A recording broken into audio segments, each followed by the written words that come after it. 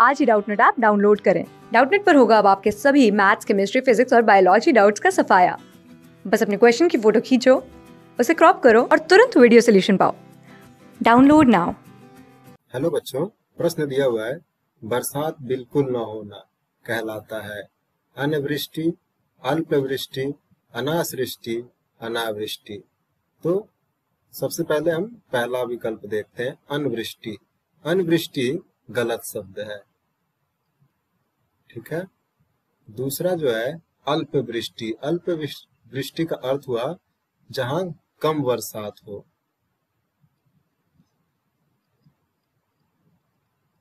ठीक है? तीसरा शब्द है,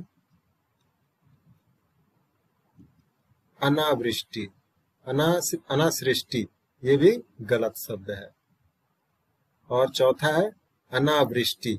अनावृष्टि का मतलब हुआ बिल्कुल भी वर्षा न होना।